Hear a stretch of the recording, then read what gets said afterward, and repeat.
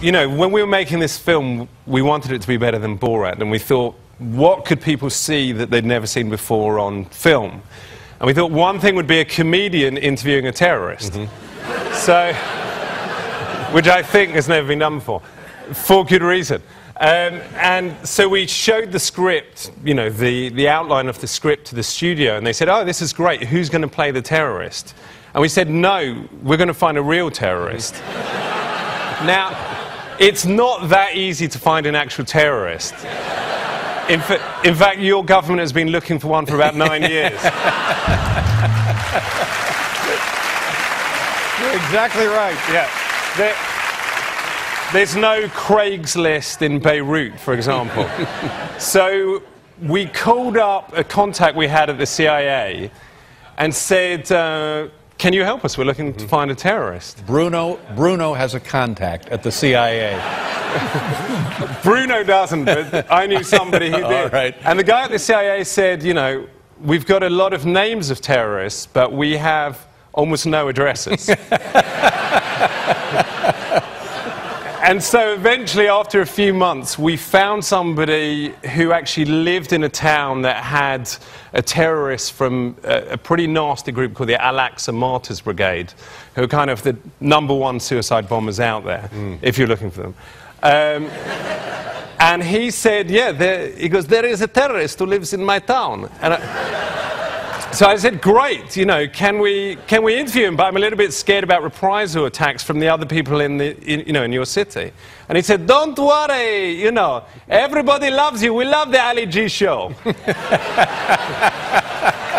so, so the next thing was I thought I needed some security to get to the right. terrorists because it was in the West Bank. The guy picks this secret location. So we called around some security firms. Everybody said, no way. Mm. And eventually I found one guy who was an Englishman who'd done the Enrique Iglesias hero tour. Mm-hmm.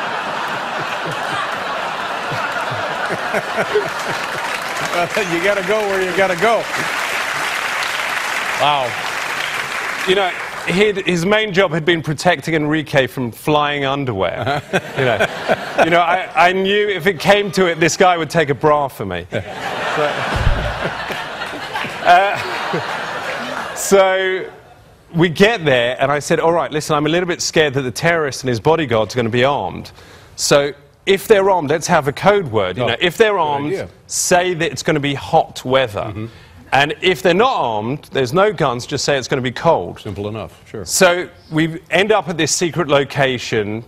Uh, the terrorist comes in with his bodyguard. They've been checked by my bodyguard. My bodyguard comes in, and I said, So what's the weather going to be? And he says, um, Well, I think it's going to be cold weather, but there's a chance it could be quite warm. and it might even be boiling hot. At which point the terrorist said, No, no, no, it is not cold, it is warm.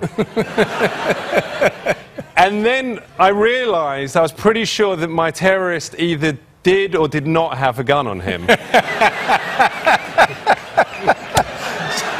So you're certainly getting your money's worth there. And then my bodyguard says, yeah, you're right. You know, it is quite warm out here. It's kind of much, much warmer than North England.